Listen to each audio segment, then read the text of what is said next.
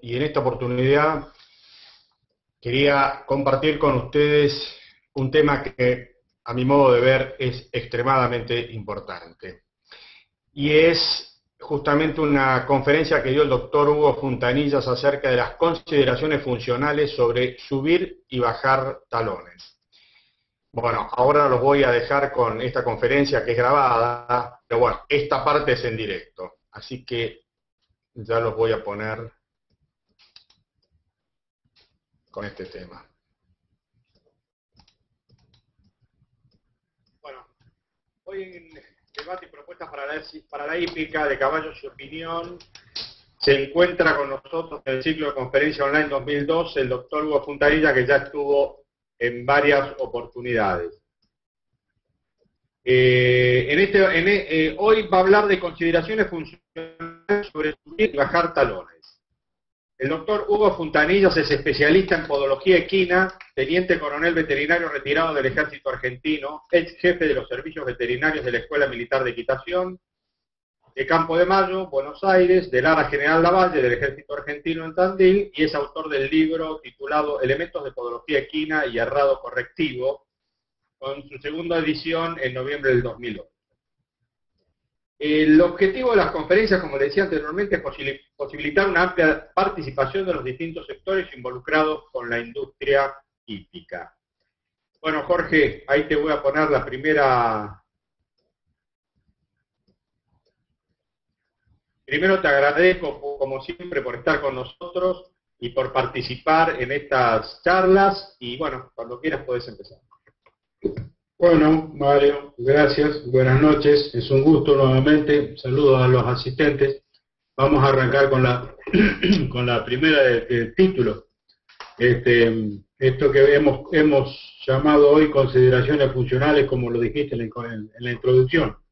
Eh, ¿Por qué elegimos este, este tema? Es un tema donde, en el que eh, trabajamos a diario, a diario y sobre el cual una vez más se cometen muchos errores. Entonces, la finalidad es revisar desde los principios funcionales a todas aquellas situaciones cotidianas o hasta donde podamos de defectos o patologías del pie en las cuales eh, elevar o bajar talones puede ser la forma adecuada de tratamiento, ya sea directo o indirecto de la, de la normalidad que tenemos presente. La próxima, por favor.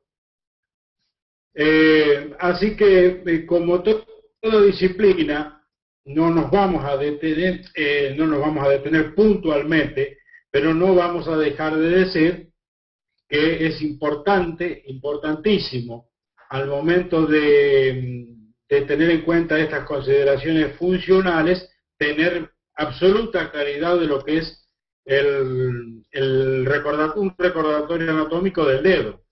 Este, es lo primero que tenemos que tener presente para comprender lo que hacemos y siempre con la idea principal de no causar daño. La próxima, por favor.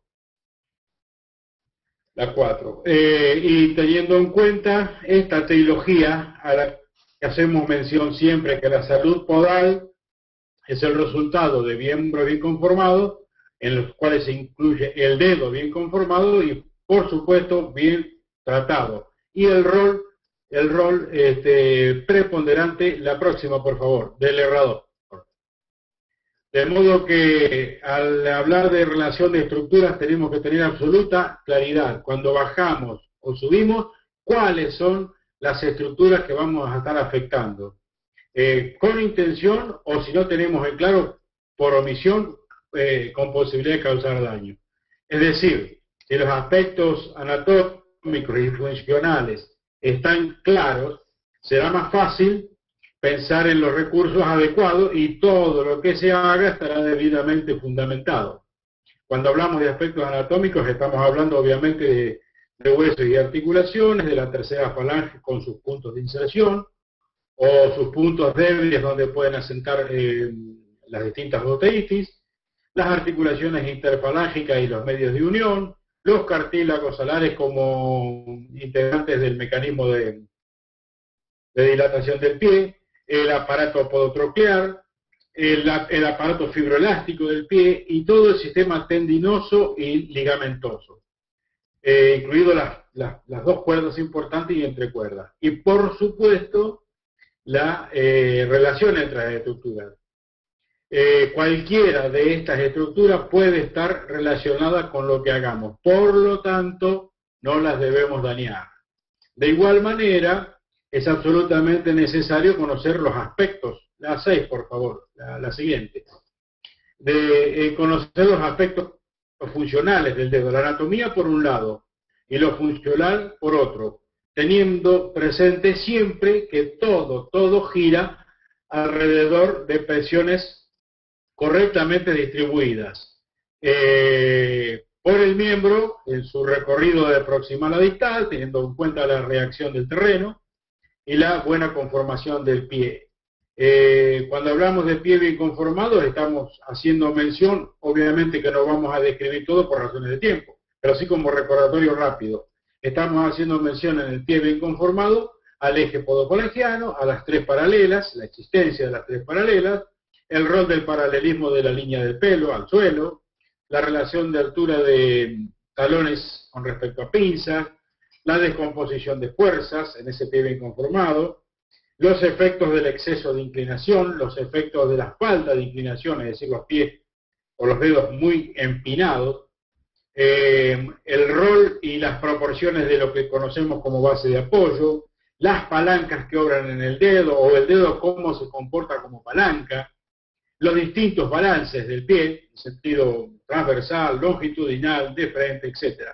Lo que significa la simetría funcional, que es un concepto personal, y la ruptura de marcha y el patrón de vuelo. Esto nos va, a ayudar. A siete, por favor. En resumen, eh, la correcta conformación del dedo, ¿qué asegura? Asegura una correcta descomposición de fuerzas, eh, asegura distribución regular de presiones, todo interrelacionado.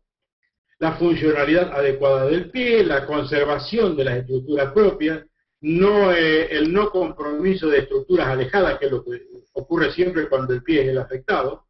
Me refiero a estructuras alejadas cuando por un, por un alteración en el pie mismo eh, duele un músculo de la musculatura alta, un isquiotibial, etc.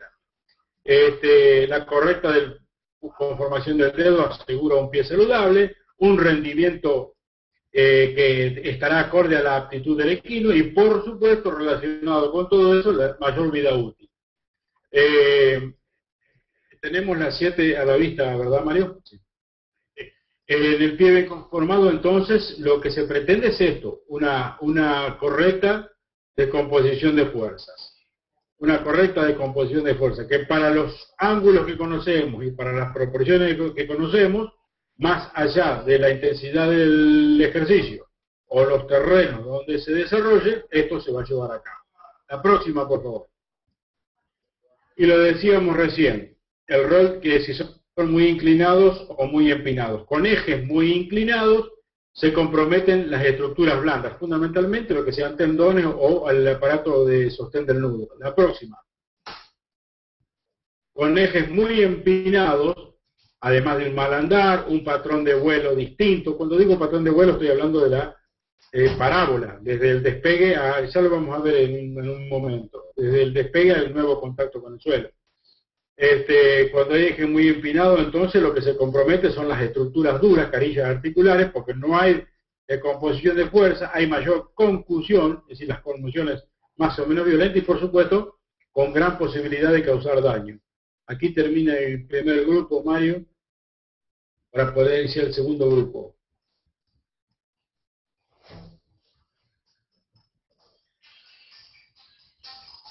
La primera del segundo grupo. Eh, eh, lo que vamos a ver eh, a lo largo de la charla va a ser cuándo elevar los talones, ya sea en, el, en el, los errados normal y correctivo y en el errado terapéutico, y cuándo descender los talones.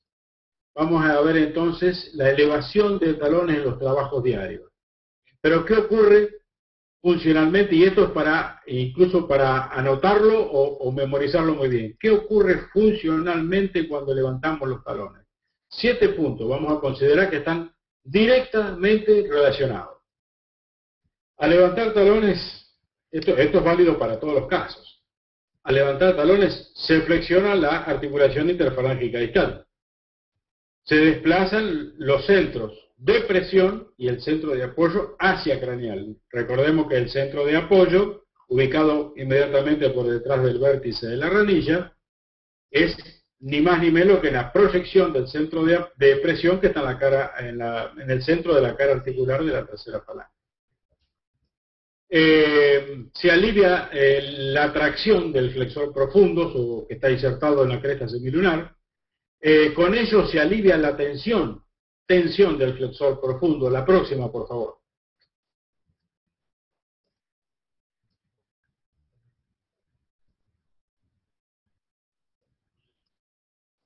Al aliviarse la tensión del tendón flexor profundo, se alivia la presión, la presión del flexor profundo sobre la podotroclia, que es por donde se desliza.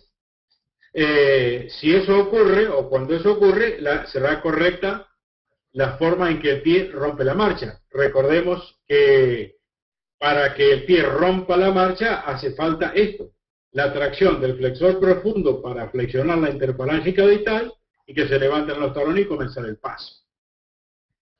Eh, y por último, el séptimo punto al que hacíamos referencia es que la de marcha, entonces de esta manera se tornará más eh, funcional, funcional y por supuesto más confortable. Eh, hicimos mención recién a lo que, eh, la 5 por favor, a lo que es tensión y presión, presión esto es física elemental, cuando hablamos de tensiones, fuerza sobre unidades de longitud, y cuando hablamos de, de presiones, fuerza sobre unidades de superficie. Estas tensiones las tenemos que tener permanentes siempre, en tanto tendones y ligamentos, y varían, y varían en cada aire, con las distintas fases. Cuando decimos distintas fases, estamos diciendo elevación, sostén, contacto y apoyo. Y a su vez el apoyo en las subfases que conocemos. Y en esta placa, que es la 5, estamos viendo, esto para tenerlo en cuenta, muy en cuenta. Esto para tenerlo muy en cuenta. Estamos viendo en las distintas fases cuáles son las estructuras que están más sometidas a tensión o que trabajan en cada una y cuáles están más relajadas. Así vemos entonces que en la estación, por igual, hay eh, tensiones similares, tensiones similares. En, en el comienzo de, previo a la elevación, lo que decíamos recién, o sea, en la imagen de la derecha, eh, como el responsable de esa actividad desde el tensor profundo flexionará la interfalángica distal y se elevan los talones. A todo esto, estructuras como el suspensor del nudo y el flexor superficial están relajadas. No son necesarias en este momento de la biodinámica, del trabajo. En cambio, en cambio, en el segundo momento del apoyo, cuando en los aires rápidos de marcha, sobre todo, la cuartilla puede llegar a ponerse casi paralela al piso o paralela al piso, ahí entra a trabajar eh, el tensor, el, perdón, el flexor superficial y el suspensor del nudo, mientras que el, eh, flexor profundo está jugando un papel pasivo en este momento. Es para tenerlo en cuenta. Eh, ¿Cuándo vamos a elevar los talones? La 6, por favor. Eh, y como decíamos recién, lo podemos hacer con el rado normal o con el rado correctivo. ¿Y qué situaciones? La próxima. Eh, son varias las situaciones, que vamos, vamos a mencionar algunas. Por ejemplo, ¿qué pasa cuando estamos ante defectos de aplomo por arriba del nudo? O defectos de aplomo del dedo o consecuencia del errado defectuosos que deben ser tratados con recursos de errado correctivo y algunos casos de interferencia. En, los defectos de aplomo, acá tenemos que tener algo uh, muy, muy, muy presente, muy importante. Es imposible, es imposible, lo, lo decimos siempre, esto es imposible tratar con errado defectos de aplomo que estén por arriba del nudo porque no le puedo imponer una dirección distinta al miembro maduro, distinta a la situación de los potrillos. Eh, pero, pero pueden hacerse y deben hacerse en el casco modificaciones, eh, aún en los animales adultos, sin intención de corregir, sin intención de corregir. Y también eh, supeditado al grado de gravedad del defecto de aplomo por arriba del nudo. Este, es decir, siempre hay para hacer modificaciones, así como se puede hacer una simple modificación con escofinado, porque quizás así lo marque la situación, no hay demasiado uña, eh, a, tener que usar herradura. Pero el pie siempre se va a deformar por eh, gravitaciones más dirigidas. Entonces, para recordar al eje defectuoso no le puedo imponer una dirección distinta, pero como hay presiones mal dirigidas por el miembro mal conformado, el pie va a sufrir las consecuencias con desgaste irregular en algunas zonas y crecimiento de uña en otras. Por lo tanto, podemos intervenir en los defectos de aplomo. La, la siguiente, por favor. Podemos intervenir solo, solo, solo, para reducir los defectos negativos que causan las presiones mal distribuidas. Acá tenemos, no, vamos a, describir todos los defectos, pero este es un defecto. Este, considerando normal el, caso del tordillo que tenemos la imagen de la izquierda, en el caso del alazán este que está con el collarón de, exposición, que, o casualidad, siempre veo que veo esta, esta imagen, alguna pequeña digresión, veo que está con el collarón de posición y sin embargo un pie muy, muy, muy mal conformado, el pie de la mano blanca, con talones remetidos, etcétera. Bueno, son esas cosas que ocurren este, llega, a, llega a una exposición con un pie de este tipo. Bueno, eh, en este caso, en este caso, eh, siempre hay cosas para hacer. Eh, por ser plantado, las presiones estarán más recargadas de la mitad hacia atrás, puede llegar a haber un talón doloroso, pero en este animal crecen mucho la parte mitad anterior del pie, entonces habrá que trabajar sobre eso. La próxima, por favor. A ser la 8. Relacionado con lo mismo. La zona de talón es más sobrecargada, la región de pinza crece más y el eje podofalangiano se rompe. Entonces, si es necesario, habrá que elevar talones. ¿Por qué digo si es necesario, habrá que elevar? Porque a veces con la uña existente de crecimiento del mes removiendo lo que sobra, es probable, si el defecto no es muy marcado, que logremos lo que necesitamos. Tampoco tenemos que ir contra la naturaleza. La próxima, por favor. Y por supuesto que también hay de proporciones adquiridas, en donde es necesario recomponer la forma del dedo. En la imagen que tenemos delante es un, es un, es un pie con unos 75 días sin errar. Es decir, está largo, largo de, largo de pinza, bajo de talón, etcétera. Acá hay errores errados y hay que estabilizarlos, el defecto. Entonces, es posible que eh, es posible que el desvasado no sea suficiente para recomponer ese eje como lo hemos puesto ahí y haya que elevar talones para lograrlo. La próxima. Eh, o casos como este de la, de la placa 10, o casos como este, esto es, eh, esto eh, lo repetimos siempre, no son casos excepcionales, estos son de todos los días, estos se ven en el todo, al menos en, donde me desenvuelvo. Este, fíjense lo que es la mano derecha, donde incluso podríamos llegar a hablar, como lo muestra la imagen, la, la placa radiográfica, de un ángulo negativo de la tercera falange. Estamos hablando de ángulo negativo, el que se contrapone al de la ubicación normal, orientación espacial normal dentro del estuche, que está alrededor de los 5 a 10 grados. Acá, acá es menos de, mucho menos de, eso. Bueno, la 11, por favor. Y acá tenemos el caso clásico de la asociación de pinza largas talones bajos con rotura del eje. Con rotura del eje. Y gran posibilidad, de acuerdo a la imagen de la izquierda, de que en esa zona donde está esa estrella o explosión en rojo, es la zona de mayor sobrecarga, lo que está diciendo que quien más va a sufrir en ese sector es el aparato postnuclear. Y a eso debemos, debemos eh, atender. Entonces, más allá de, de los criterios propios de remoción de uña con la intención de recomponer el eje podofalangiano, es probable que haya necesidad de levantar talones. Siempre, siempre teniendo en cuenta que el dedo se comporta como una palanca de segundo género, de segundo género donde el apoyo está en la pinza, eh, la resistencia está en, a nivel de la, de la tercera falange, la cara articular, y la potencia la ejercen las estructuras blandas. De modo, de modo que esto por un principio físico, cuanto más larga esté la uña, la palanca será mayor y la potencia, en este caso representada por el tendón del flexor profundo. Eh, esa es la potencia física.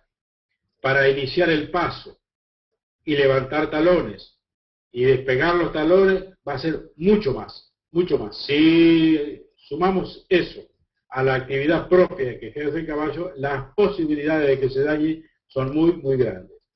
El, el flexor profundo debe hacer mucha fuerza para iniciar el paso. Eh, en estos animales con pinzas largas y talones bajos, la ruptura de marcha eh, y el patrón de vuelo son totalmente normales. La parábola, que no es una parábola eh, simétrica, pero el, patrón de vuelo del, que tiene pinzas largas y talones bajos, hace la parte más alta antes de transponer el miembro opuesto y aborda el, terreno en un ángulo muy pronunciado.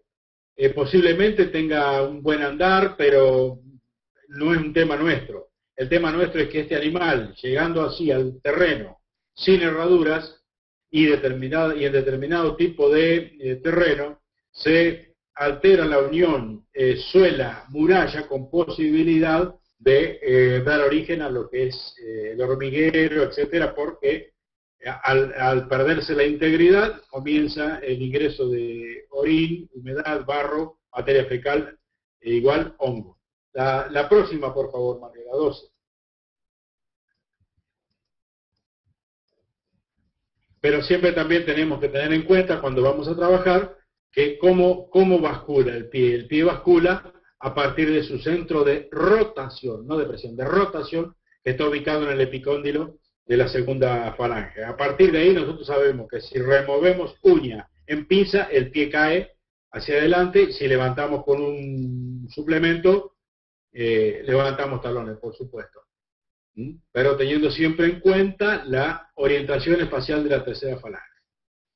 De modo que cuando estamos ante casos como estos, ¿qué hacemos? La evaluación inicial, primera y fundamental. Ver qué cantidad de uña tenemos ver qué cantidad de uña tenemos. Si tenemos suficiente uña, trabajamos con uña y vemos en qué medida se restableció el eje podofalangiano y hasta dónde las proporciones pinza respecto a talones se eh, mejoraron o no. Si no se mejoraron, es posible que haga falta levantar talones para recomponer la relación 2-1 o 3-1.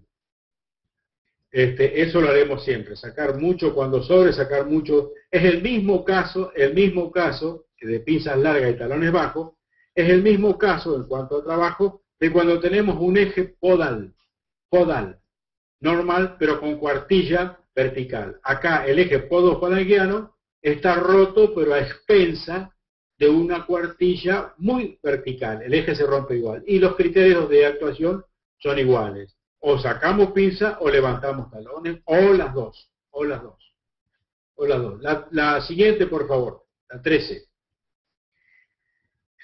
Eso lo veremos. Lo veremos en base a, cómo se haya podido preparar el pie con recorte de uña. Y entonces, a partir de ahí decimos, podemos necesitar o una herradura, o un suplemento, o lo que haga falta para recomponer.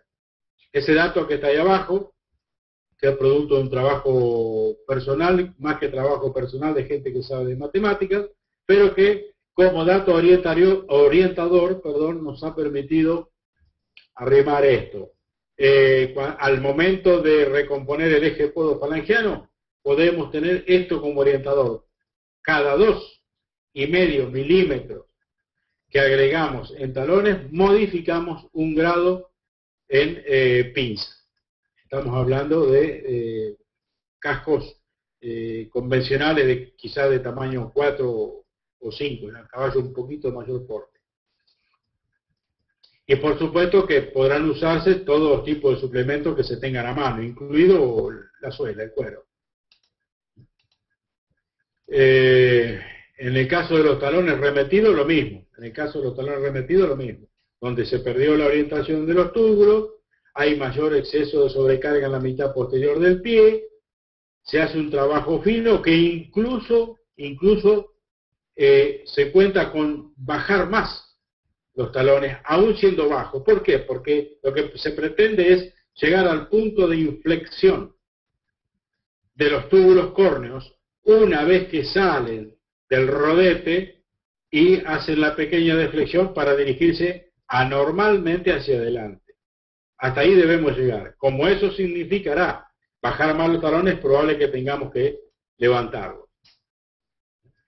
O sea que el equilibrio se ha, se ha perdido. La próxima, por favor. La 14. Eh, decíamos de los talones remetidos que luego de recortar convenientemente es probable que, haya que, suplementar. Lo que sí no podemos dejar pasar por alto en los talones remetidos es confirmar si hay dolor en talones o no. Si estamos ante un cuadro de talón doloroso. Pero ya tenemos una idea de que como está mal conformado puede provenir de ahí. La próxima que es la 14. Este, entonces podemos aplicar como lo mostramos en la placa, este tipo de suplementos, la clásica taloneta o, lo que se tenga más, o el trabajo con errado. El errador las puede hacer. La próxima, por favor. La 15. Herraduras de este tipo, ya sea la clásica de hierro trabajada o aluminio, pero con la idea de recomponer el, de recomponer el eje. Hacemos mención a, hoy a que a que también los talones deben ser tenidos en cuenta cuando estamos ante interferencias, considerando la, interferencia, aquella normalidad en la que durante la marcha el casco o la herradura puede tocar el miembro opuesto u otro, causando lesiones de distinta magnitud. Las, clásicas interferencias de todos los días. Este, y lo que decimos también, que son muchas las causas y que corresponde ante el mínimo sospecha de interferencia hacer un minucioso examen, no salir corriendo a buscar al errador para que haga una herradura. ¿Por qué? Porque son muchas las posibilidades, de los aplomos defectuosos hasta del desequilibrio en los caballos nuevos, la falta de entrenamiento, la fatiga, puede haber un errado defectuoso con descansos exagerados, descansos, sobre todo descansos laterales, desbordes, mejor dicho eh, el terreno irregular, la inadecuada forma de montar del jinete, movimientos articulares irregulares y por supuesto la debilidad o mal estado, que no sería el caso de un caballo deportivo, pero está como, como la tenemos que nombrar como causa también. Sirva esto para, para tomar conciencia que ante la interferencia corresponde hacer una evaluación concienzuda y con paciencia. Dentro de las de las interferencias, que son muchas, eh, lo que nos toca mencionar acá es básicamente lo que es el forjado y el alcance, es decir, cuando una pata toca la mano o la lastima, depende de cómo sea. El forjado es cuando toca solamente la herradura y el alcance es cuando ya directamente puede tocar los bulbos de los talones, lastimar o más arriba. He llegado a ver en algún caso eh, ruptura de, de tendones de la mano con el borde de la herradura de pata.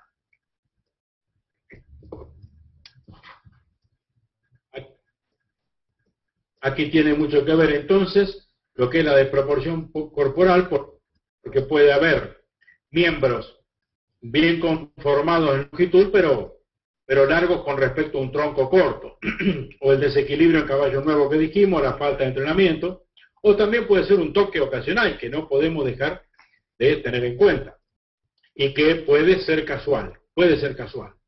Bueno, eh, en cualquiera de esos casos, pero cuando decidimos, cuando decidimos que tenemos que actuar, lo que se impone acá es lo siguiente. ¿Qué necesitamos? Lograr que la mano salga antes y la pata llegue una fracción de tiempo en segundos después. Si logramos eso con errado, incluye el preparado del pie, podemos solucionar el tema si no es grave. En general no es grave. En general no es grave. ¿Cómo se logra esto? Entonces, modificando la flexión y la extensión. ¿Y eso cómo se llega? Bueno, aumentamos el espesor de, de la herradura de pinza a talón, aumentando la longitud de los callos, la longitud de los callos, es decir, en la parte final de la herradura, pero cuidado, eso lo podemos hacer solamente, solamente en patas, porque corremos el riesgo de que los arranque, y si a eso le sumamos disciplina, donde como la prueba completa, campo traviesa, descendiendo por taludes o por accidente del terreno, la posibilidad de que lo arranque es mayor. Se lo arranque sin que existan los callos largos, así que imaginemos lo otro. Eh, el corte invertido de los callos de la herradura y el truncado de pinza. Vamos a mencionar algo. Cuando hablamos de, cuando hablamos, estos cuatro apéndices, sobre todo en los caballos de salto, equitación, se puede hacer, se puede hacer con trabajo de herrador. Eh, aumentar el espesor de, pinzas a, a, talón, desplaza al centro de gravedad y alista, alista al flexor profundo iniciar antes del paso. Eh, si alargamos levemente la herradura, pata, siempre en pata, eh, de talones, estoy hablando de quizá eh, dos centímetros, actúa como brazo de palanca al llegar el talón al piso. En esos aires rápidos de marcha, lo primero que llega al piso son los talones. En este caso, con una herradura que sobresale, va a llegar primero los callos de la herradura. Eso es suficiente para que proyecte el nudo hacia adelante. Ya tenemos dos tenemos dos eh, eh, recursos. Y el tercero podría llegar a ser eh, la cuadratura en pinza que mm, modifica también, a, favor, por supuesto, la iniciación de la marcha. Con eso, con eso podemos lograr que la pata llegue un momentito después que la mano ha salido, pero también para que la mano salga antes, tengo que alistarla tengo que prepararla y beneficiarla para esa ruptura más rápida. Y eso lo logramos aumentando también el espesor de pinzas a talones. Y en el caso del corte de los talones, el corte de los talones tiene que ser corte inglés, es decir, siguiendo la inclinación de los talones.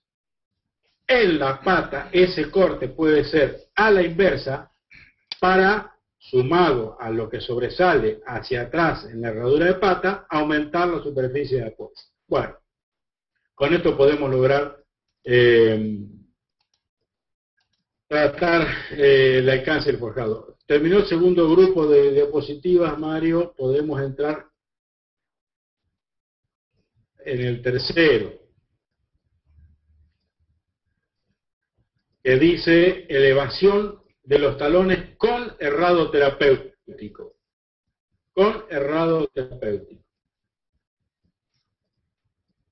Recordemos que el errado terapéutico sirve para resolver o estabilizar un estado, un estado patológico. Vamos a ver en qué situaciones. Eh, la 2, por favor.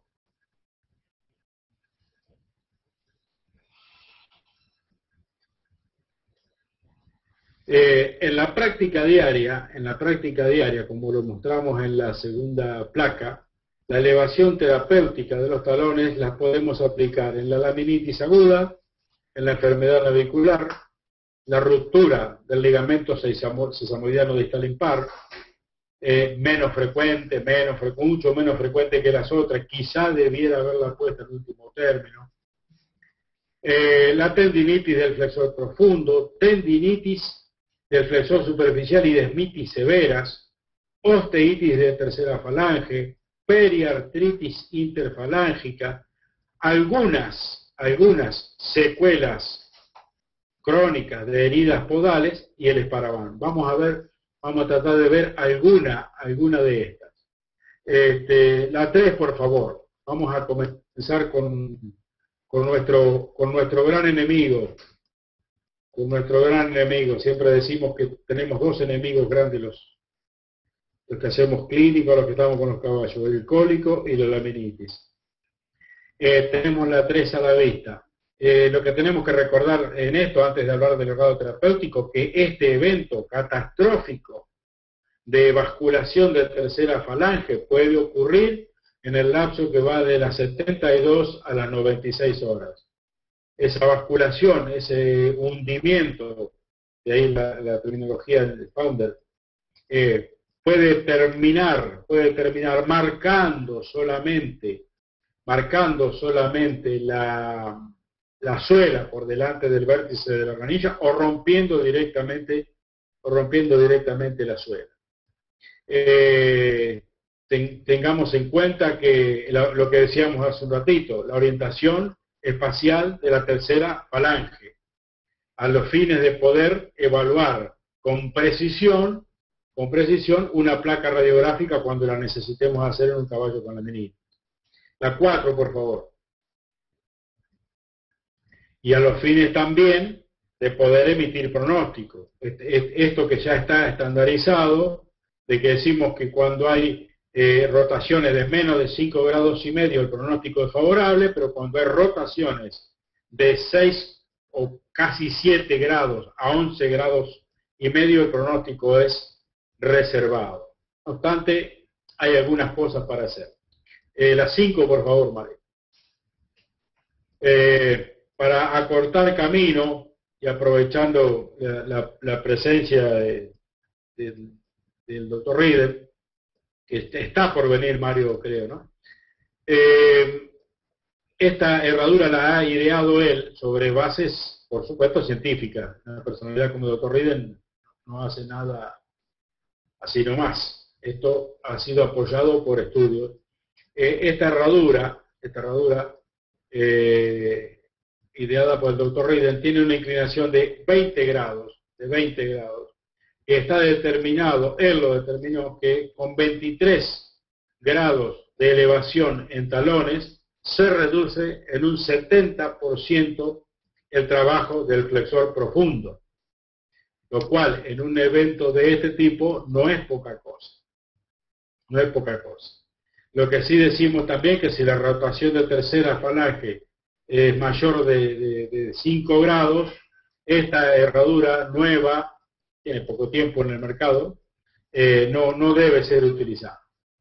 Eh, podemos pasar a las 6 para hablar del síndrome del navicular, teniendo en cuenta que en el 55% de los casos, los talones remetidos, ya sean conformacionales o producto de la mala praxis del hombre, son causa del síndrome del navicular, con mucha sobrecarga de, del pie en su mitad posterior, configurando un cuadro de talón doloroso, etcétera, etcétera. Las seis, por favor. Para mostrar en esta placa las estructuras interesadas, ya sea la bolsa podotroclear, el navicular y cómo se relaciona eh, el flexor profundo. Las siete, por favor.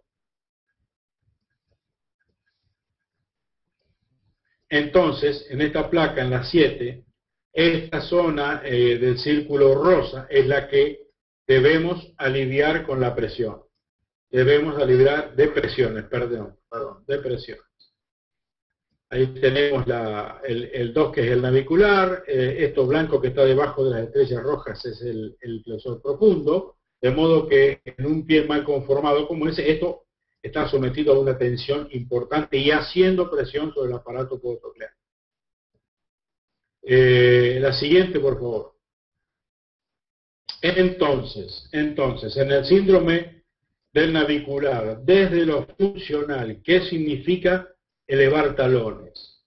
Significa reducir la extensión de la interfalángica distal.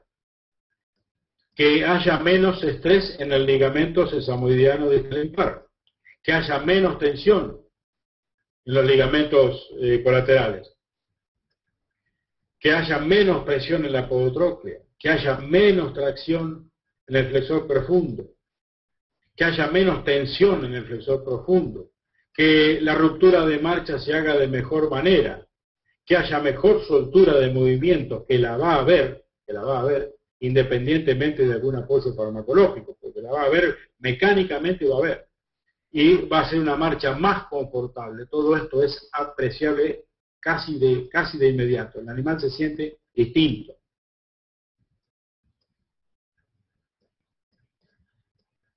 La próxima, por favor, la nueve. Desde, desde la antigüedad eh, se ha empleado esta herradura que tenemos a la vista, que es la clásica herradura de balancín o bacheta, eh, con un, un, ángulo importante, con un ángulo importante de inclinación de 2 a 4 grados, un falseo de apoyo, que significa ese, ese aumento de espesor de pinza a talón, significa llevar el, el centro de presión hacia adelante, para aliviar el, el profundo. Esta herradura lo que hace con el apoyo, con el falseo de apoyo, es sustraer de apoyo los talones, es decir, evitar las concusiones directas, las reacciones del terreno. Desplaza el centro de presión hacia adelante y reduce la, la presión sobre la podotropia.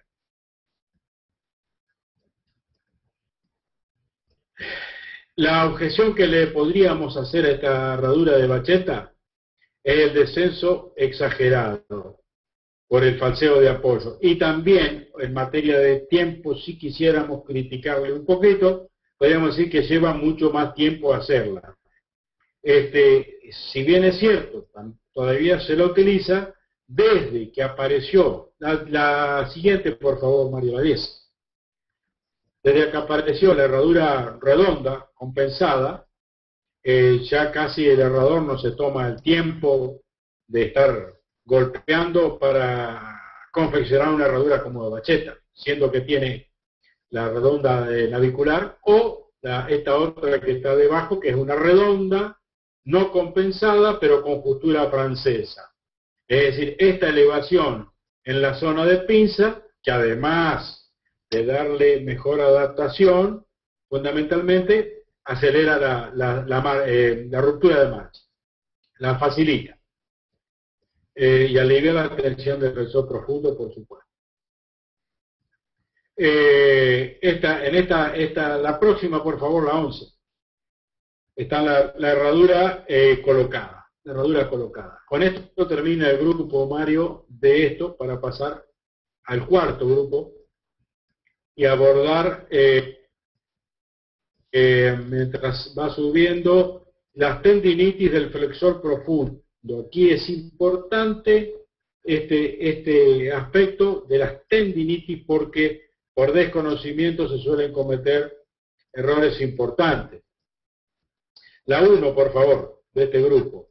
Acá tengamos en cuenta, tengamos en cuenta, eh, una vez más, los, los momentos en que las distintas estructuras están en tensión o relajación. Pero digamos esto antes, que el daño de, tendones o ligamentos eh, vienen de soportar fuerzas eh, y que pueden estar sujetos a mayor o menor capacidad para resistir esa fuerza.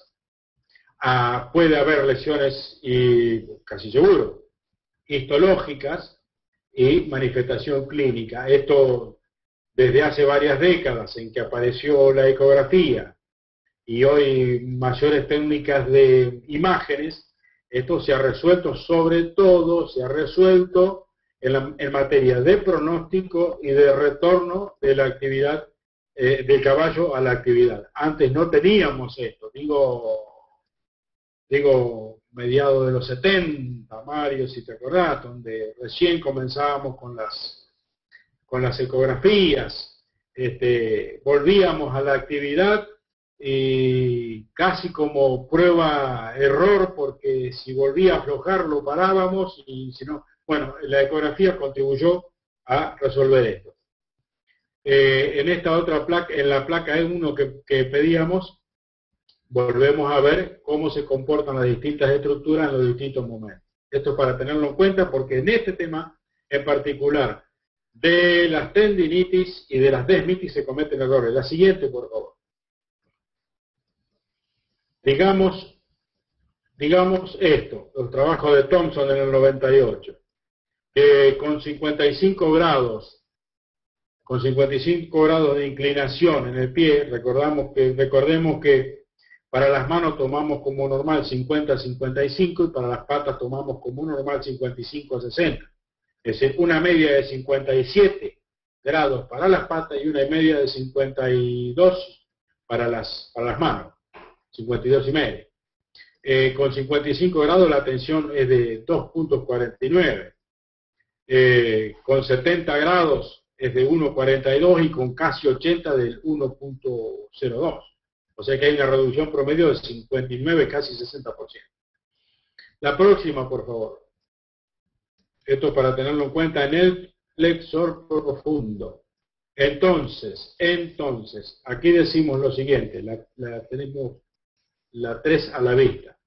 Eh, en la tendinitis del flexor profundo, aquí levantamos los talones flexor profundo, levantamos los talones. La mayor, lo hemos escrito ahí, la mayor altura de talones, al cambiar el ángulo del dedo, alivia la tensión del tendón eh, flexor profundo. Hay que recordar entonces lo que hemos marcado en la, placa, la inserción flexor profundo en la cresta semilunar. Entre paréntesis, como todo punto de inserción, un potencial punto osteítico.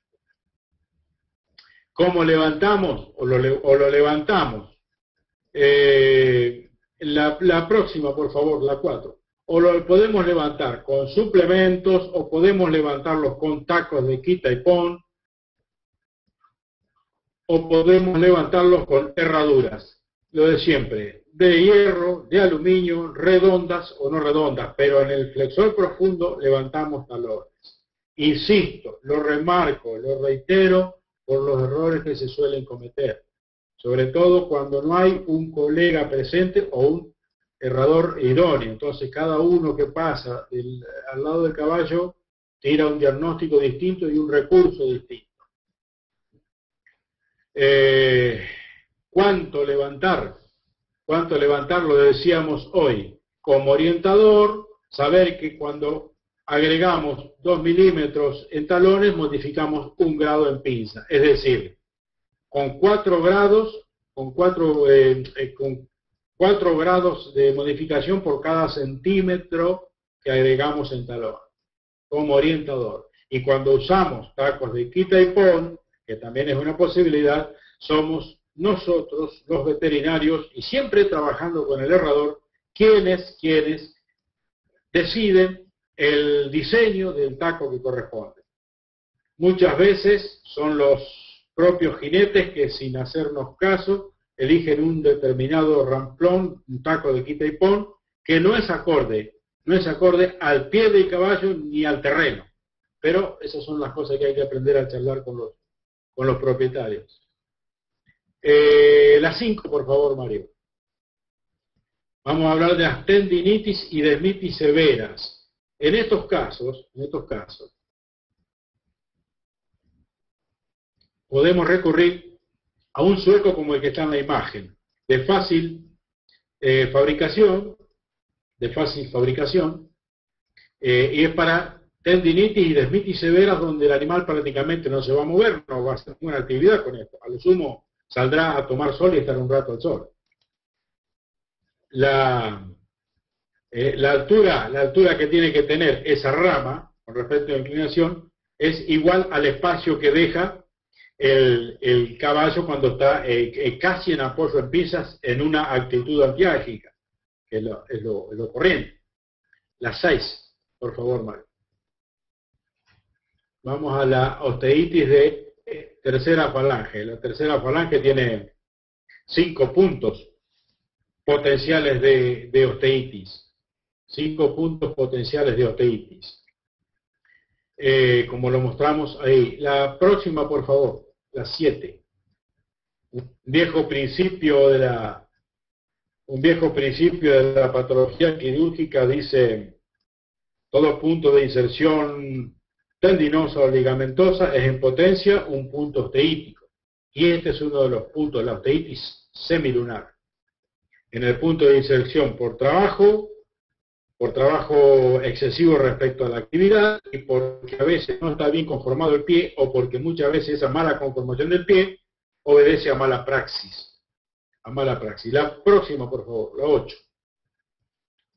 Entonces, en esos casos de osteitis semilunar, la cresta semilunar también, también hacemos una herradura común alta de talones o una redonda compensada o una bacheta como la que tenemos abajo, abajo a la izquierda, o, una parecida a una bacheta o baqueta con falseo de apoyo, similar a la de las osteitis angulares. Fíjense que las dos tienen una inclinación, pero, pero la inclinación comienza eh, mucho más atrás en el caso de...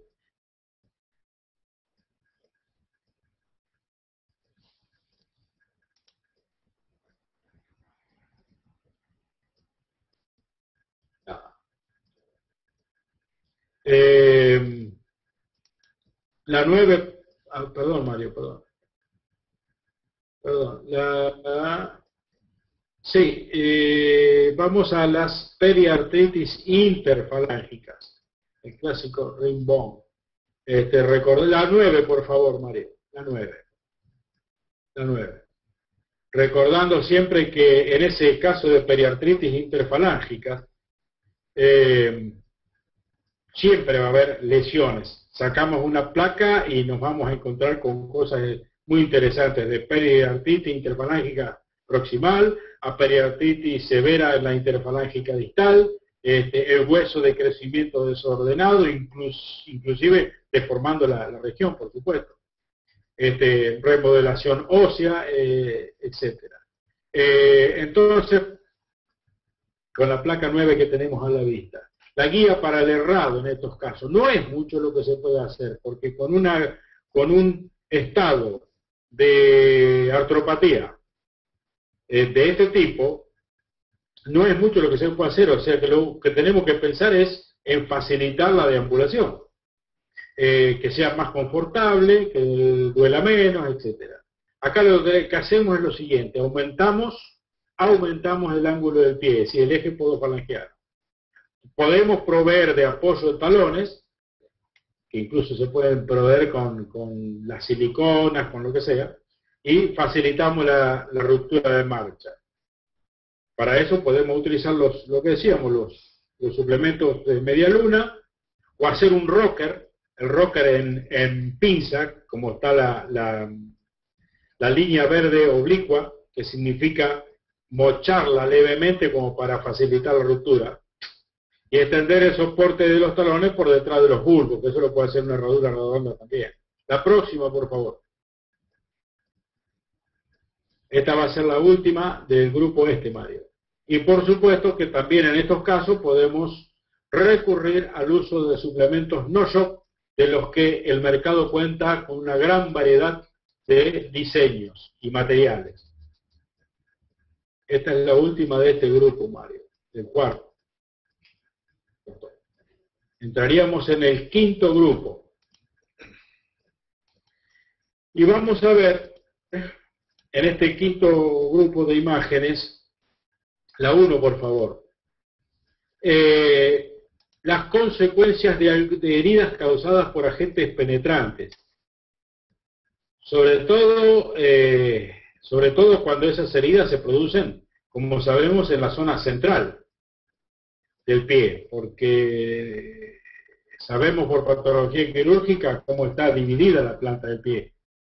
Pero sabemos también que la zona central es la más de mayor riesgo porque las estructuras que se encuentran desde afuera hacia adentro son la palma, de, es decir, la suela, el tejido velloso, o la almohadilla plantar o cojinete, e inmediatamente ya tenemos, en la zona central tenemos la tercera falange. ¿Y qué, qué de la tercera falange? La inserción. Tenemos la podotroclea, o sea que un clavo, un alambre que ingresa en esa zona, va derecho a, una eh, supurada crónica o podotroclitis supurada crónica. Eh, con eh, actitudes antiágicas como la que vemos en esta placa, la 1, que como diagnóstico diferencial sería interesante, sobre todo para alumnos, esa actitud del miembro con, con flexión del dedo, eh, que, nos tendría que hacer pensar, hasta que hacemos la anamnesis, cuando hacemos la anamnesis se disipa toda la duda, pero la actitud postural está hablando de, una o de una fractura de olecranon, en donde se pierde la, inserción del tríceps, y la verticalidad del miembro, o una parálisis del radial. Pero también puede ser esto que estamos describiendo de una pododermitis crónica de una duración, en este caso particular, de dos años y medio de dos años y medio. La próxima, por favor. Perdón, perdón. Seguimos con la uno porque me olvidé En este tipo de, en este tipo de lesiones crónicas, esta herradura de balancín, también llamada balancín, fácil de confeccionar, tiene por función, como lo muestra ahí la flecha amarilla, de hacer este efecto de sube y baja, con lo cual le estaría dando la posibilidad de una gimnasia funcional a la retracción de ese flexor profundo por tanto tiempo sin apoyo. La próxima, por favor, la 2. También se lo puede hacer con herraduras de tipo florentina, florentina, con una extensión en pinza para que al apoyar eh, eh, mande el pie hacia atrás. Y esos ramplones fijos que vemos eh, pueden ser de cualquier altura en el sentido de que no hay desde el primer día como para decir dos centímetros. El caso lo dirá. Si hay mucha retracción, podemos hacer ramplones altos. Lo que necesitamos es que ver que el animal pise con, eh, de manera confortable, no representa ningún sufrimiento. En los errados posteriores vamos bajando, vamos bajando los ramplones fijos hasta que quizá, depende de la gravedad y del tiempo de retracción, quizá en cuatro cinco meses, o errado, o seis, ya lo tenemos y no necesitamos ramplón. Pero es absolutamente cierto que con herraduras de este tipo y con ramplones altos, depende de lo que decíamos recién, depende de eso, el animal ya sale con caminando eh, sin sufrimiento, sin sufrimiento. Vamos a la 3, por favor. Vamos al caso del, del esparabano, la osteoartritis del tarso. Más allá de todo lo que sea tratamiento médico, etcétera. Esto siempre hablando de derrado terapéutico como auxiliar del, tratamiento médico. Eh, en este caso tenemos el objetivo de recomponer el eje que puede estar alterado y facilitar la ruptura de marcha. ¿Cómo facilitamos la ruptura de marcha? Levantando talones, haciendo el rolling en pinza o cuadratura en pinza eh, y combinando recursos. Vamos a lograr que saque mejor las patas del caballo, que trabaje con las patas debajo del cuerpo y no detrás del cuerpo. En este caso la, herradura de balance natural eh, con un rolling, como lo tiene la Natural Balance, también puede servir. También puede servir. La 4, por favor. La justura francesa también ayuda a, mm, despegar antes, hacer una ruptura más confortable. La 4. ¿Qué decimos en la 4 con esta placa tipo crónica? Cuando no deben levantarse los talones. Cuando no deben levantarse los talones. La 5, por favor. Los talones no los debemos levantar cuando tenemos presencia de ejes coincidentes, es decir, los ejes podofalangianos no son normales, pero son coincidentes, ya sea muy empinados o muy descendidos, pero son coincidentes. Y no debemos hacer nada salvo mínimos retoques. Así lo marca la técnica. O cuando hay miembros desnivelados, uno más alto que el otro, en los caballos que tropiezan, en el rondeo, es decir, esa, esa herida que se forma en volar del nudo y que es un, tema multifactorial, no aclarado todavía, eh, en la tendinitis del flexor superficial y en la desmitis del suspensor del nudo. Fíjense en el caso de estos dos últimos, que lo he puesto con letras un poco llamativas en cuanto a tamaño, porque son dos de las eventualidades donde se produce mayores daños por desconocimiento. En el caso de los ejes coincidentes podemos tener talones muy bajos o, miembros muy, eh, perdón, cascos muy chiquitos, pero resulta que el eje coincidente, y nosotros sabemos por técnica que si el eje coincidente no tenemos que inventar nada. Lo mismo que cuando el eje es excesivamente vertical o empinado. No hacemos modificaciones. Entonces, como, como principio recordatorio, cuando haya talones muy bajos, si los ejes podal y falangianos son coincidentes, no debemos hacer modificación. Esto vale para topinos y para altos de talón. Lo que sí tenemos la obligación de ver en cada caso desde la clínica es ver si eso es conformacional o si hay una patología subyacente. Porque a veces en animales relativamente nuevos, jóvenes, vemos ejes coincidentes que no es por mala conformación, sino que son producto, acá vino de patología subyacente, producto de una retracción, retracción tendinosa.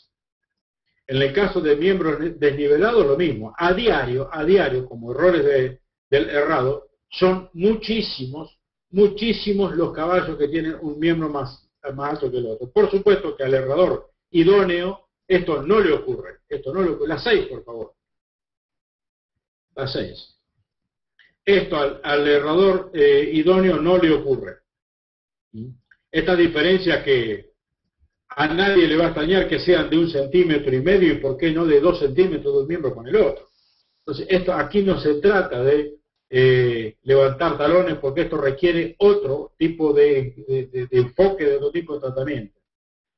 Se deshierra, se ven las alturas nuevamente, se ve dónde se trabaja el, pie que tiene más uña y recién después se ve qué se hace. Pero no salir, porque si más a levantar talones para nivelar el miembro. De ninguna manera.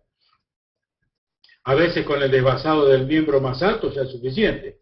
Y otras veces se levanta el miembro más bajo, pero de manera uniforme. No hay causa para elevarlo más de talones. Por lo tanto, si es necesario levantarse, la parejo, no las talonetas o la media luna, como se hace. Parejo, si es necesario. En el caso del rondeo, que es la herida a que hago referencia cuando se entierra el nudo en la pista, este, también, también, por desconocimiento se suelen elevar los talones con la intención de que la cuartilla no descienda tanto. Y lo que se logra es justamente el efecto contrario. Cuando yo levanto de talones, la cuartilla cae más. Pero eh, eso es producto de la ignorancia y del desconocimiento, que se lo ve a diario. Se lo ve a diario. De ahí la importancia, una vez más, del trabajo en equipo herrador y veterinario herrador y veterinario, aunque no estén juntos o de la mano, que tengan el celular, que se llamen, que se comuniquen, y si es posible ver los casos entre los dos, mejor, mejor. Eso beneficia muchísimo el trabajo. En este caso, eh, siendo un problema multifactorial, esas herraduras para caballo de carrera, pero con extensión, con extensión en talones, eh, suelen ser suficientes. Por favor, Fíjense como lo digo, que suelen ser suficientes. No en el 100% de los casos, porque como problema multifactorial que es y que no está resuelto todavía, a veces funciona y otras veces no funciona. Eh, o sea que corresponde un examen minucioso, un examen clínico que permite encontrar la causa. ¿Qué causa que puede dar alrededor de las 7 o 8 posibles causas? En el caso de caballo que tropieza, que hicimos mención recién, lo mismo.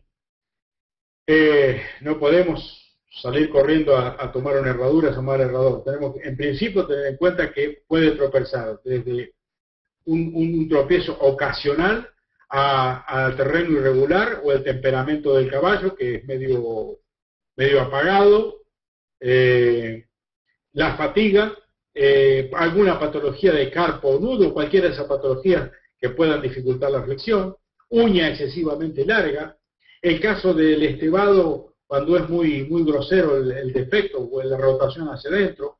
El caso del talón doloroso, eh, acá hay que tener en cuenta en el talón doloroso que uno dice, ¿y por qué tropieza?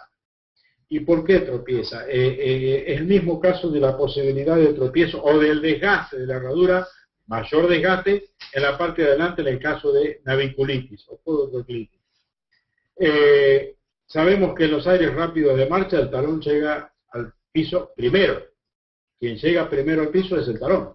Pero si tenemos un talón doloroso, por una cuestión natural, el animal va a intentar aterrizar ese pie de manera distinta. Y de manera distinta significa con la parte de adelante, en condición totalmente antinatural, en, ese aire rápido de marcha. Con la parte de adelante aterriza en los aires lentos de marcha, paso y trote lento, en los aires rápidos con el talón.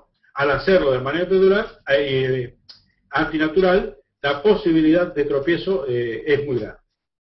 Y bueno, y por supuesto que puede haber asociación de causa. La 7, por favor, Mario. O sea, que lo primero que tenemos que hacer es determinar por qué tropieza y la otra tema a determinar es si debemos intervenir con errado o no. Porque a veces con, preparar el pie eh, se soluciona. Pero hay que hacer un examen minucioso. Acá eh, en todos estos casos la paciencia y ser cauteloso es sumamente importante. Eh, en el caballo que tropieza entonces la solución, como lo ponemos ahí, no está relacionada con levantar o bajar talones.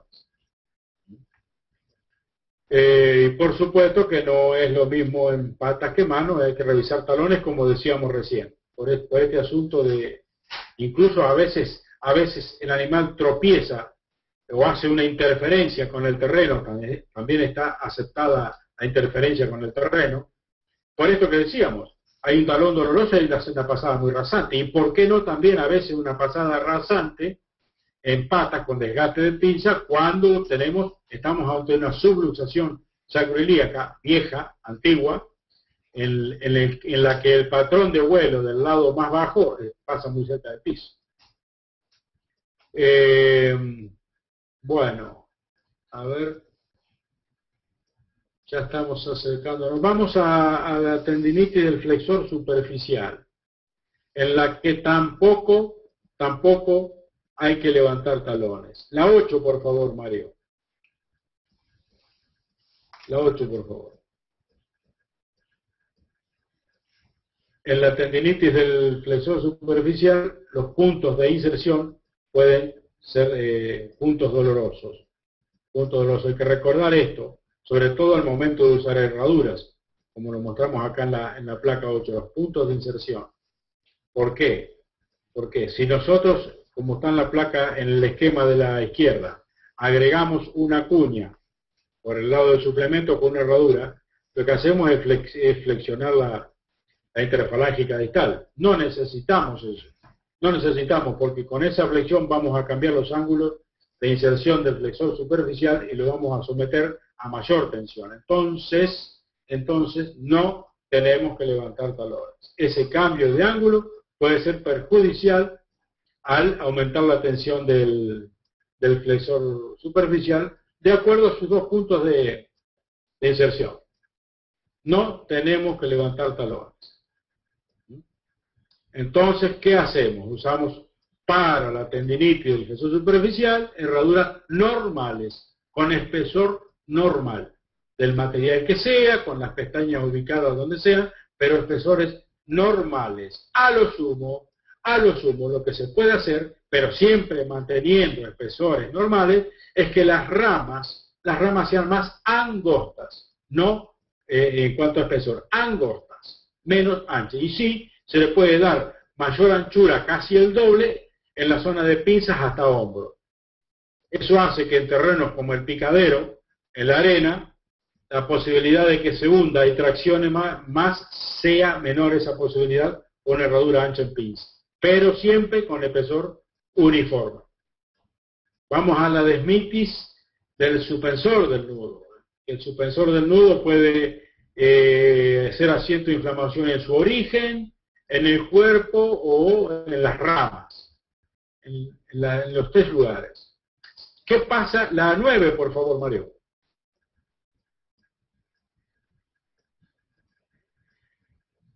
¿Qué pasa si levantáramos talones? Eh, lograríamos el mismo efecto perjudicial, perjudicial que en el caso de la tendinitis del flexor superficial. El mismo efecto. Flexionaríamos la interfalángica distal y lo, hacemos que el pie bascule y lo sometemos a mayor, mayor eh, tensión. Este, la mayor altura de talón en el caso del suspensor del nudo implica ruptura del eje, con, mayor inclinación de la cuartilla y por lo tanto mayor esfuerzo del ligamento suspensor del nudo para sostenerla. Es el aparato sostenedor del nudo. O sea que el criterio en el caso del suspensor del nudo es igual al del flexor superficial. No levantar talones. No levantar talones. También aquí se pueden utilizar ramas, perdón, herraduras que sean de mayor anchura en pinzas y hombro, el doble o dos veces y media, si quieres, y ramas que se van haciendo más angosta hasta llegar al ángulo de inflexión pero espesor uniforme. Pero espesor uniforme. La otra posibilidad es que el suspensor del nudo se inflame en sus ramas accesorias.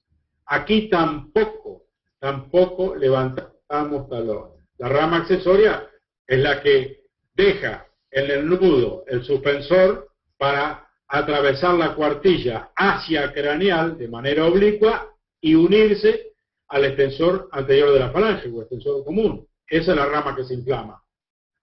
Eh, tampoco levantamos talones acá. Lo que sí podemos hacer y debemos es, en correspondencia a la rama afectada, hacer la rama más ancha, más ancha. El doble o dos veces y media si queremos. Para eh, lo mismo, evitar que de ese lado, sobre todo en terrenos más sueltos, la 10 por favor, sobre todo en terrenos más sueltos, se, se hunda, se hunda, darle más confort. Es el, del lado afectado. ¿Mm? Hay mayor superficie de apoyo, menor hundimiento y menor tensión de la rama afectada. Ahí lo tenemos eh, graficado en la placa, en la placa 10. Es decir, el, sería el mismo efecto, el mismo efecto si lo comparamos con eh, la, cubierta de rodado ancho en la 4x4 para andar en los médanos. Si en ese mismo terreno usamos una eh, cubierta de bicicleta, nos vamos, nos vamos, nos hundimos. Es una cuestión de superficie. Mayor superficie de apoyo, menor hundimiento en el terreno. Terminó el quinto grupo, Mario, y entramos en el último.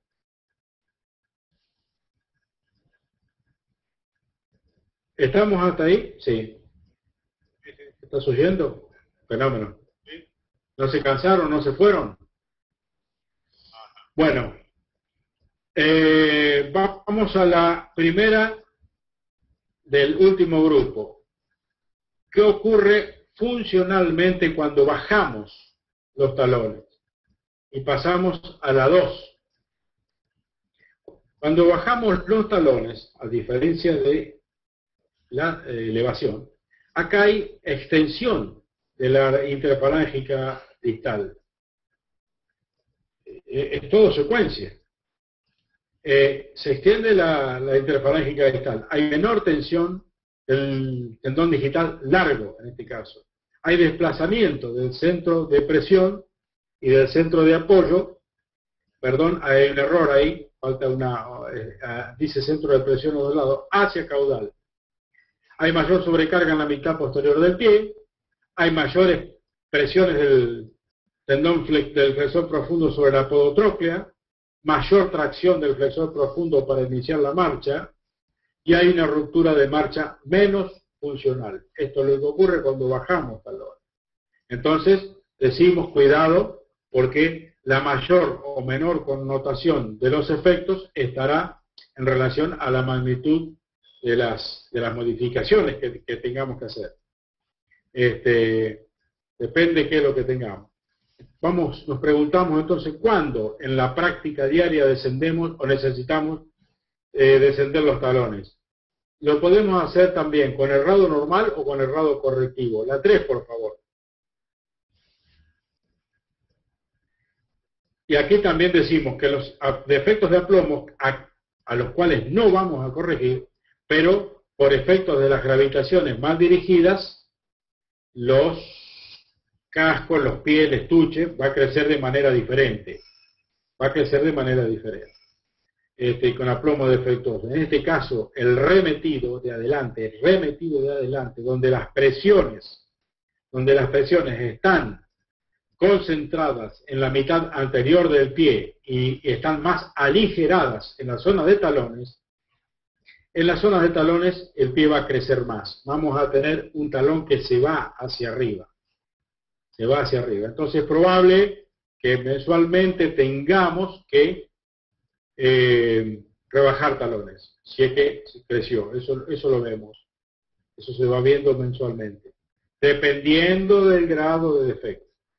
Y siempre teniendo en cuenta en cualquiera de estos efectos, no solamente el que hay otras regiones del miembro que son sufren estrés. Puede ser, me refiero al nudo, al metacarpo colangiana, a, a, la región del tarso, me refiero a la región de la babilla, etcétera, etcétera.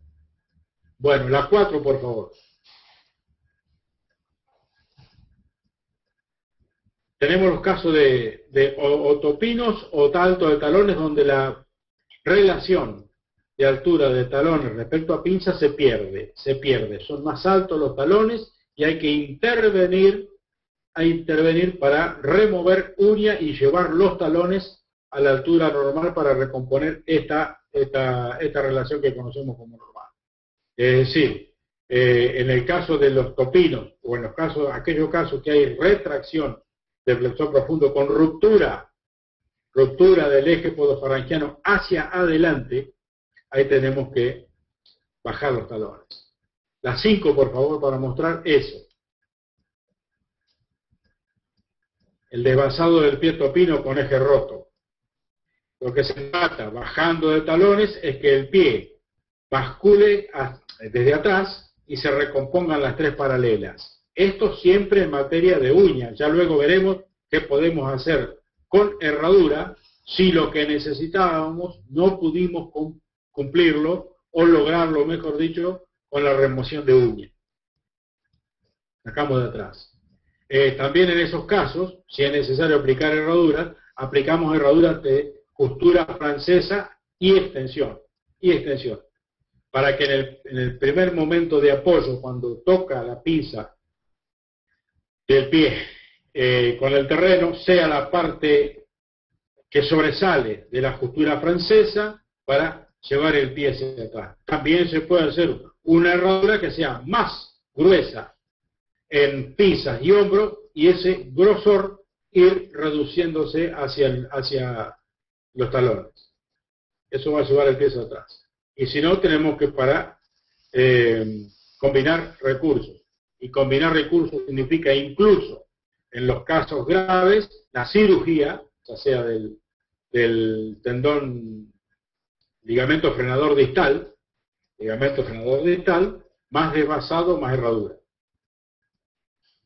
Herradura incluso cuando los, los grados de topinismo están en grado 4 o 5, eh, sobre todo 4 o 3, donde, donde el ángulo de la muralla en pisa es de 90 grados, echar mano a eh, la herradura de paletón o pico de pato, que por viejas no han dejado de, de prestar beneficio. Vamos al caso del, tenemos el eje podal normal, normal el eje del pie, pero con una cuartilla larga y descendida, el clásico pie que tienen los caballos, los peruanos, de paso. Una cuartilla larga y que desciende mucho. La 6, por favor. La 6, por favor.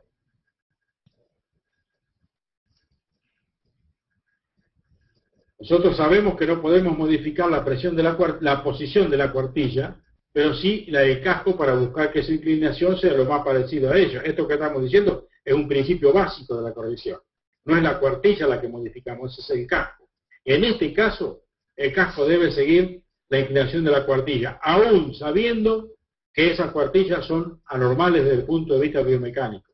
Pero yo tengo que seguir el trabajo del casco para que el casco no se pareja a la inclinación de la cuartilla. ¿Y cómo lo hago en este caso?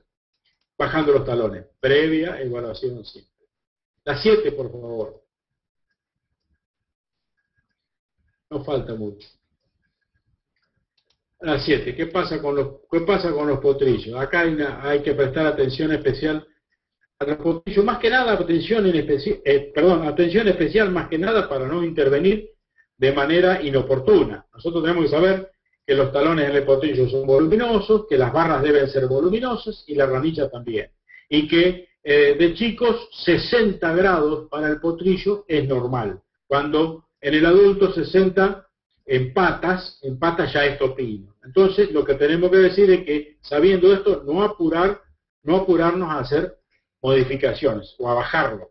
Esto a veces es difícil, no técnicamente, sino porque eh, los propietarios no lo entienden y los ven y le obligan al herrador o al médico veterinario eh, a, lo presionan para hacer lo que no hay que hacer. A veces cuando se es muy joven es difícil sobreponerse a él. Bueno, vamos al descenso de nudos con el errado terapéutico. La 8, por favor. La 8, por favor. Y otra vez volvemos a la laminitis, pero en este caso la laminitis crónica, la que se hundió, no rompió la suela y pasó a cronicidad, pero hubo una separación. ¿Me hablaste? Sí, discúlpame, la 8 no la tengo. La 9. Bueno, bueno, bueno, no importa, perdón. Está bien, no importa, no importa. Poné la 9, poné la 9. Gracias, Mari, se me, se me, se me pasó. Te, debo algo por el error. Este, no importa. El, el, tema es el siguiente, saber que al rotar la tercera falange la, la, y hundirse, perdón, el engranaje dermo que era filoso perdió su integridad. O sea que es imposible restablecer ese engranaje, ese engranaje que es perfecto, que es perfecto y que cuya sumatoria eh, de, superficie hace que tenga entre el 0,8 a un metro cuadrado, lo cual en materia de absorción de impacto, de presiones, es muy grande. Eso en la, eh, la crónica se perdió, se perdió. Y puede llegarse al zapato chino. Entonces tenemos el criterio de acción esto, esto ya tiene varias décadas, de eh, por qué eh, ha prevalecido esto, porque a través de estas últimas décadas se habló mucho sobre subir y bajar talones. Esto es lo que ha eh, perdurado en el tiempo con los trabajos de, de Jenny en, la década del 60. Es lo que se hace actualmente después de haber intentado varias cosas, pero ya este hombre ya lo había dicho que era, que era de esta forma. En este caso de, eh, la menitis crónica. El, fundamento es este, realinear la tercera falange. Digo realinear, que lo voy a lograr cuando el animal apoye de esta forma. No voy a recomponer el, el engranaje dermo que era filoso, bajo ningún punto de vista, pero voy a realinear la tercera falange y la voy a dejar en mejores condiciones para que sea mecánicamente más, más de, con mejor trabajo. Entonces, ¿qué se hace? ¿Qué se hace esto? Recortar mucho, perdón, dependiendo de la cantidad de viña, pero sin miedo, eh, desde pinza hacia talones. Hacia talones. Como lo mostramos en la placa, va a descender de talones y va a bascular hacia arriba, adelante. Hacia adelante. La 10, por favor.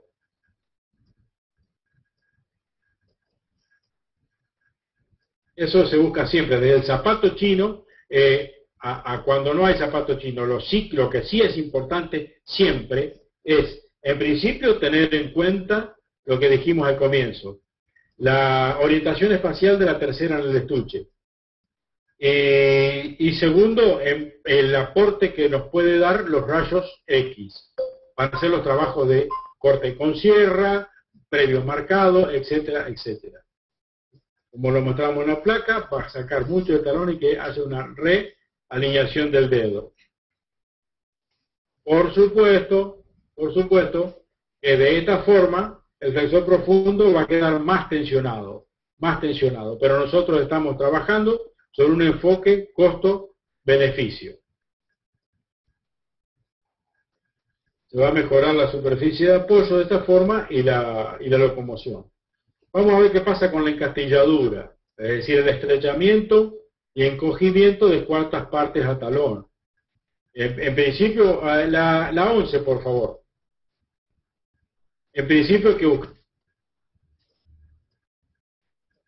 siempre la causa, porque puede haber o familias que produzcan casco eh, cilíndrico, casco encastillado, o este, temas subyacentes o patologías subyacentes. En cualquier caso, lo que se trata de hacer es rebajar talones y aplicar herraduras dilatadoras. Herraduras dilatadoras. Como la de, la brue, pantufla o chilena, o, chilena, chilena. Eh, pero es importante determinar cuál es la causa que llevó a esa encatilladura. La herradura de, la brue o pantufla es con bisel excéntrico en todo su contorno, desde pinza a talón de un lado, desde pinza a talón del otro. En el caso de la eh, chinela, eh, el bisel es completo, pero solamente abarca la mitad externa de la cobertura o tabla de la herradura. Cualquiera de las dos puede, puede servir.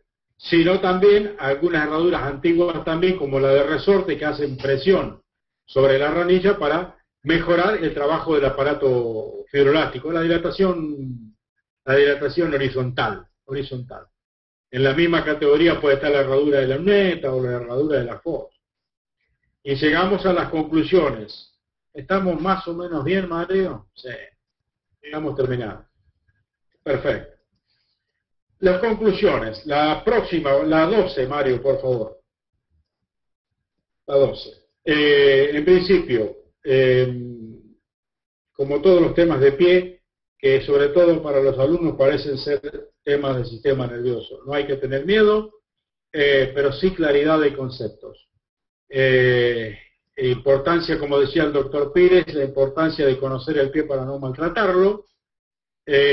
una vez más, decimos la importancia que tiene el médico veterinario clínico de equinos eh, que tiene que saber más de podología para poder eh, actuar en binomio con el, con el errador.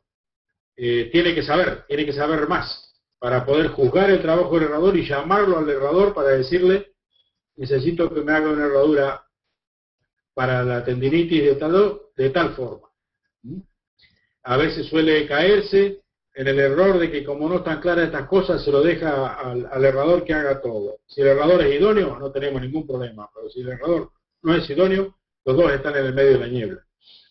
Eh, entonces, otro, otro aspecto sobre el principio de que primum non nocere, que decíamos, lo primero es no dañar, es importante saber abstenerse, abstenerse ante la duda y tener en el bolsillito por ahí del, del delantal, del ambos, el, teléfono del que sabe, llamar al, llamar que sabe. Eh, las cuatro preguntas que siempre nos tenemos que hacer antes de actuar. ¿Qué tenemos? Que, es decir, eh, definir la, entidad, qué tenemos, qué, qué deberíamos hacer, qué podemos hacer y cómo lo vamos a hacer. Eh, en la práctica diaria lo que más se necesita es aumentar el talón, porque en el errado normal, por desconocimiento, lo que se tiende es a des talonar el exceso y tenemos que ir corriendo con recursos del errado correctivo a recomponer esa situación. Este, además hay que tener en cuenta que los efectos nocivos son mayores cuando se bajan talones, por el hecho de recargar, además de las estructuras que soportan el nudo, recargar mucho la mitad posterior del pie, con todo lo que hemos dicho hasta acá de lesión del aparato podotroclear, etcétera, etcétera. Los efectos nocivos hemos puesto según la magnitud de las alteraciones. Eso sí, por supuesto, casi es algo de perogrullo. Eh, importante que el errador sea un profesional, que pueda hablar de igual a igual y que él, eh, eh, lo dijimos antes, el beneficio que aporta trabajar en, en binomio. La próxima, por favor, Mario.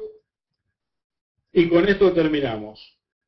Creo, creo que ha sido una horita y media, Mario. Hemos finalizado. Bueno. Ah, bueno, no sé si alguien desea hacerle alguna pregunta al doctor Fontanillas. Está Onésimo. No sé si la estás viendo la pregunta o te la leo, Hugo. no la estoy viendo. Todavía. En algunos casos que mostró cómo elevar talones, se observó que las cerraduras estaban con barra. ¿Por qué? Pienso que estaría contraindicado el efecto de candado. Planteo esto porque hoy en día está muy en uso en forma indiscriminada el candado. Por ejemplo, herraduras de huevo.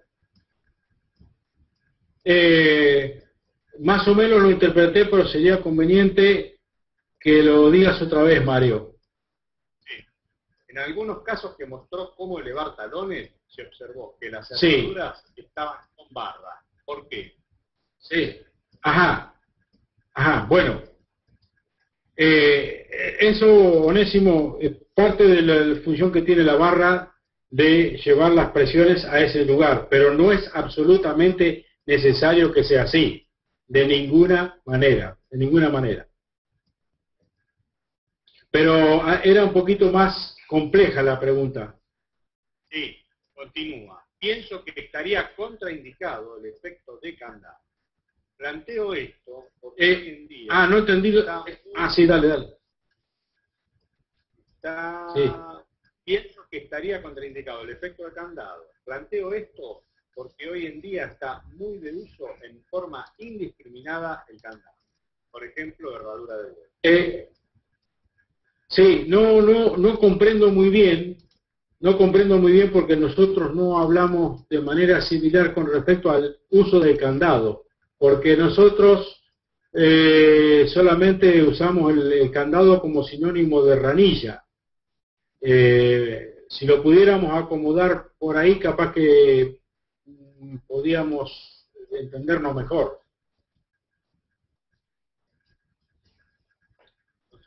¿Querés que el uso... dé el micrófono, el uso del micrófono, así le explicás? No, no entiendo bien el uso de el uso del candado, eso no lo entendió, no lo entiendo bien.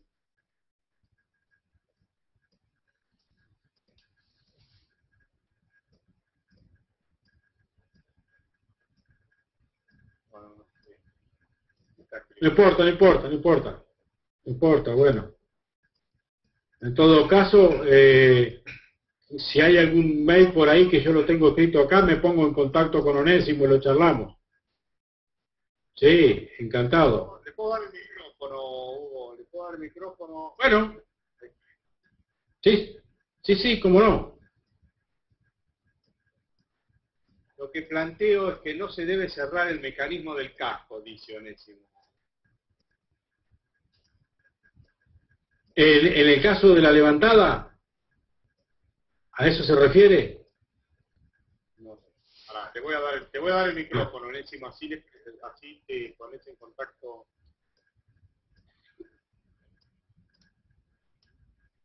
Acá te contesta que sí. Eh. Ajá. No veo yo la, pregunta, no importa. No importa. Tienes que tener a la derecha de la pantalla. Sí, pero no la, no la tengo, Marito. No la tengo, no importa. Este, al final ya me perdí. Al final me perdí. pero él... Está de acuerdo con lo último que vos dijiste.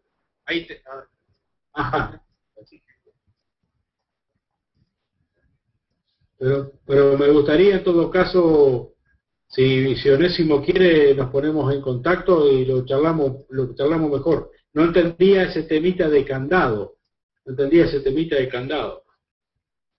Porque eh, la, elevación de, talones con herradura cerrada, eh, fundamentalmente la hemos puesto para el caso de la eh, naviculitis, es la redonda compensada. En los otros no es necesario, no, no necesariamente tiene que ser cerrada, porque lo que se pretende es levantar el talón y desplazar el centro de presión hacia adelante para distender o que esté algo más relajado el, flexor profundo para que el inicio de la marcha sea más confortable, nada más que eso. Bueno, cualquier cosa se ponen en contacto con... Sí, sí, sí, sí, sí, sería, sería un gusto. Sería un gusto. Jorge Murga está por ahí también. Sí, está acá. Bueno, un saludo Jorge.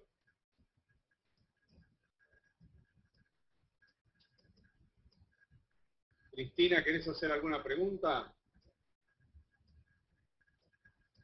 Te doy el micrófono. Cristina de la, Cristina de la Serna. Está siempre, Cristina.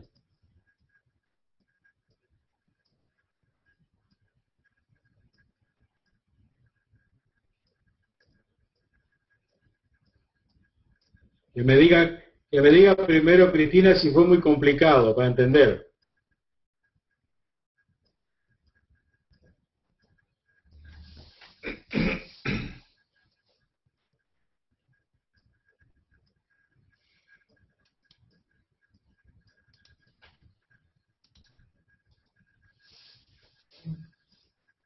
Bueno. Bueno, creo que fue una, conferencia fantástica, por eso la quería compartir con ustedes. Estoy haciendo una selección de todas las conferencias que se dictaron en este ciclo y las estoy poniendo en YouTube para que ustedes también las puedan compartir con nosotros.